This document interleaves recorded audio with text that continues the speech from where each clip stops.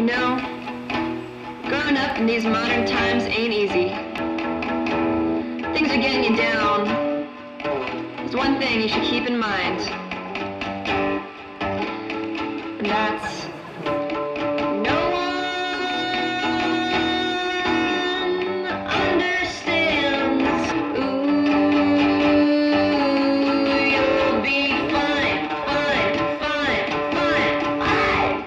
Something I miss is probably just being young, like being really little, like the sort of stuff where like your mum makes your breakfast and they like walk you to school, and at school you do like nothing. At the same time, change can be a good thing.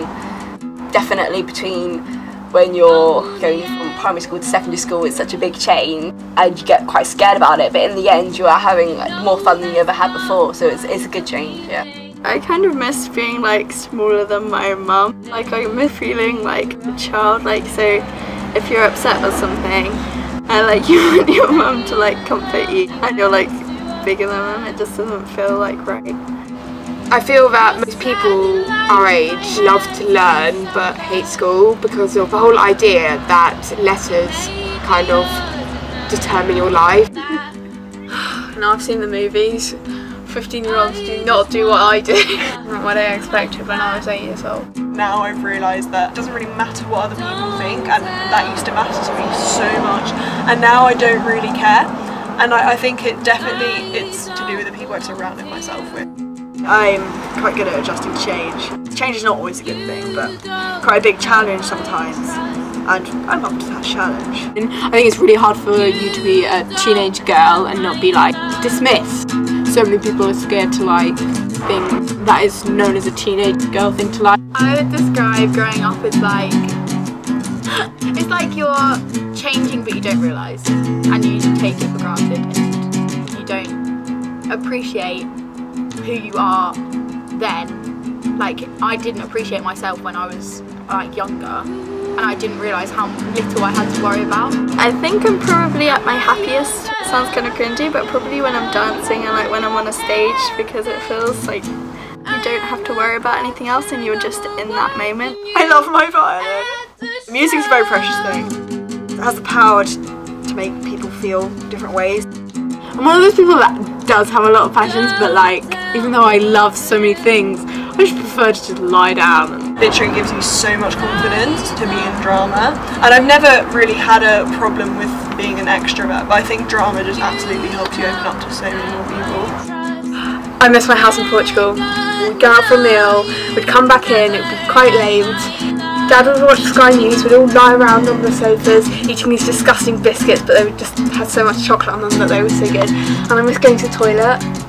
It's Just the atmosphere, like I would never be able to get again. I miss childhood in Malawi. Like, things were a lot different. I would probably say it's from my childhood helped me be the person that I am today. My parents' input, because in a sense it's not people's fault for some of their views because it's just something they've been taught as they've growing up. Ignorance really aggravates me. I think ignorance is the, the, the main thing where, like, basically all of society's problems come from. I think living in Africa was a great experience. I think it definitely influenced my personality, my character, and the way I feel about other people. And I think it will definitely influence what I want to do in the future.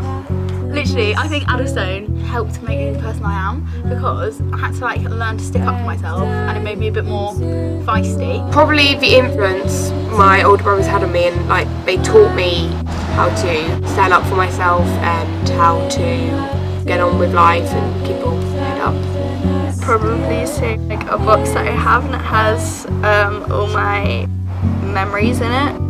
I think it's probably like the best thing that I could say to save because it has lots of memories and I think that's the most important thing to hold on to. Funniest party memory was probably when our friend Haber, she wanted to be blood brothers until we told her that that's how people get AIDS, and yet she still wanted to do it to like be like the ultimate friendship. Um, I really like just like sunrises and sunsets just make you feel like I'm passionate about the ocean. Love the idea that there are thousands of creatures that haven't been discovered. um, and I like all all its coolness. It's like I really like the feeling of like breeze, like if you go to the beach or something, um, just the feeling of the breeze against your face, it's so good. But my three favourite animals are living in the sea at the moment: a jellyfish, a manta ray, and the great white shark. I think that my first crush was probably when I was in year one, maybe. His girlfriend was, she was like a tomboy, but that was so cool to be a tomboy when you were younger. I was so jealous of them. I just remember we were at like this soft play area.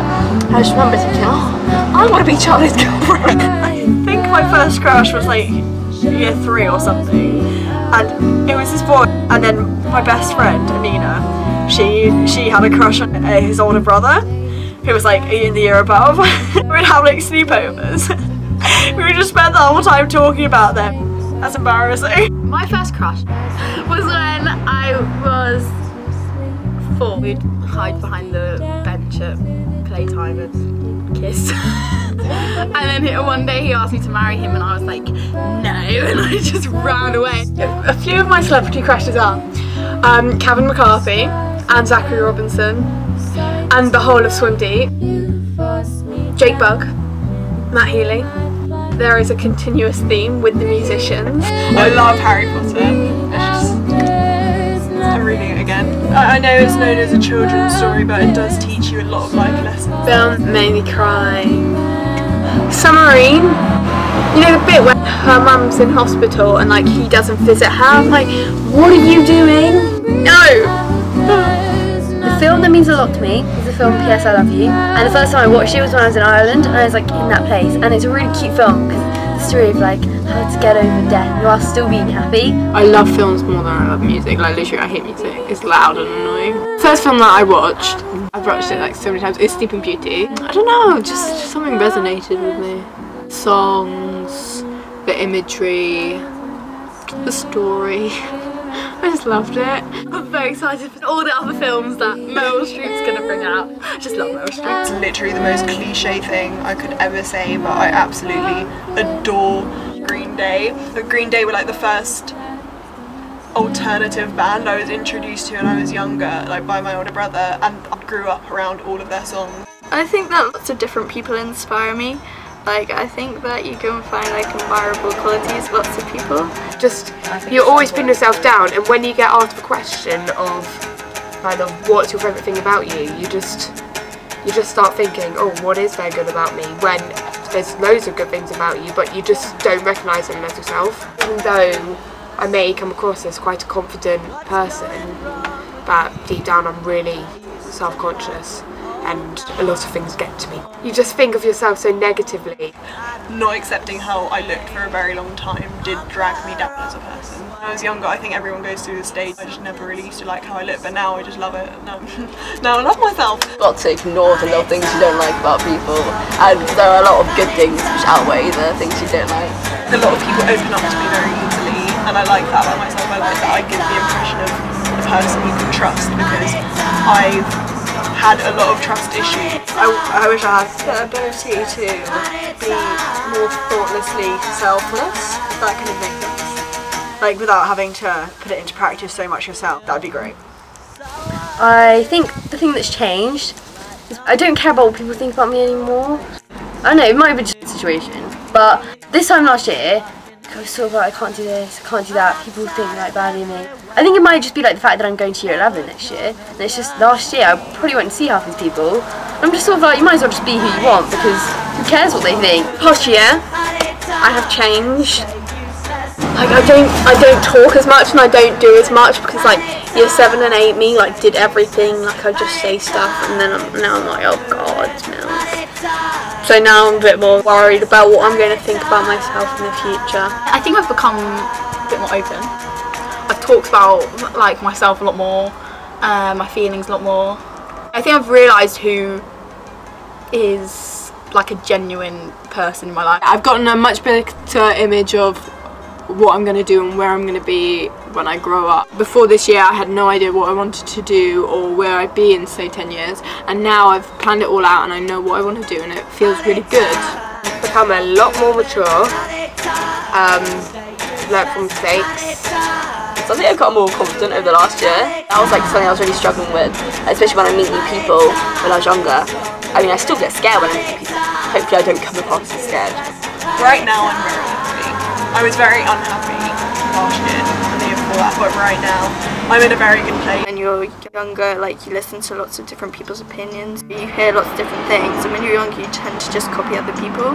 Whereas now, like you've managed to take everything that you've been told and then create who you are. I like change in small doses. At the same time, I think if you just stay the same, like it's just like, like what did you do with your life? I'm so excited for that future and like moving on with my life. Because right now, like I know this sounds really morbid, but like, are we living?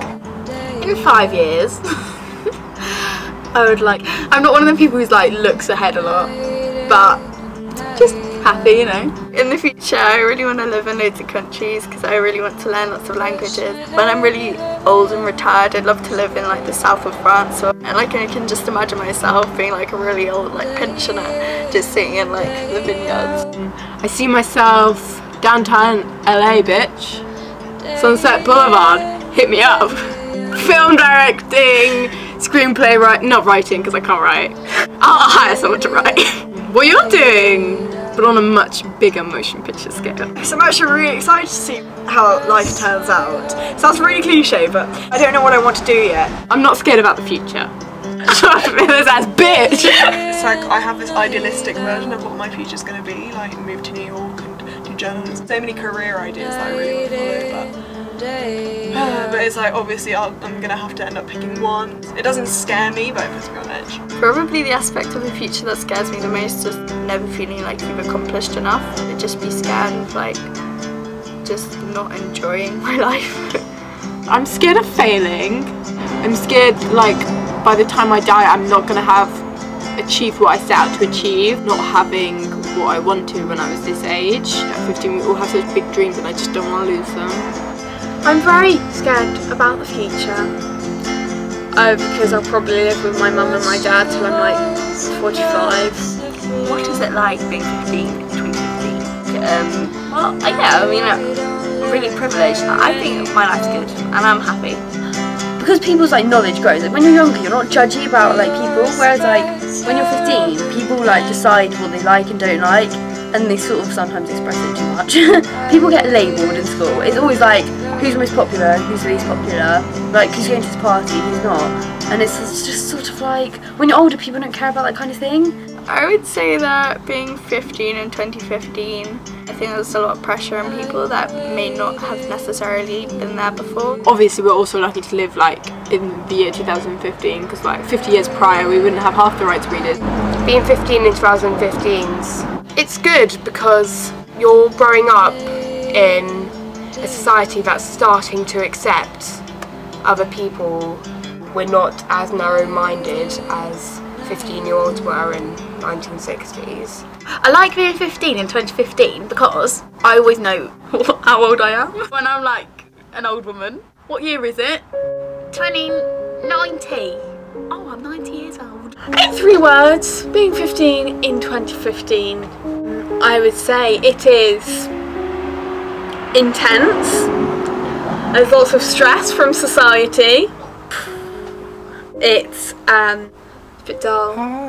Dull actually. Being a teenager in 2015 is not great if you're um, not so confident about who who you are. For me, I've kind of become more confident, so I'm able to do what I want, not like a rude or like rebellious way, like be able to express myself. I think 15 is quite a good age. I think that's like where you're optimal prime, but you never really know. Like, I think every year you're going to be like, yeah, this is a great age for me to be. There's a lot of stuff that you learn, and you think you think you're sort of grown up, and you think you're mature, and then every year that you realise that you weren't the year before.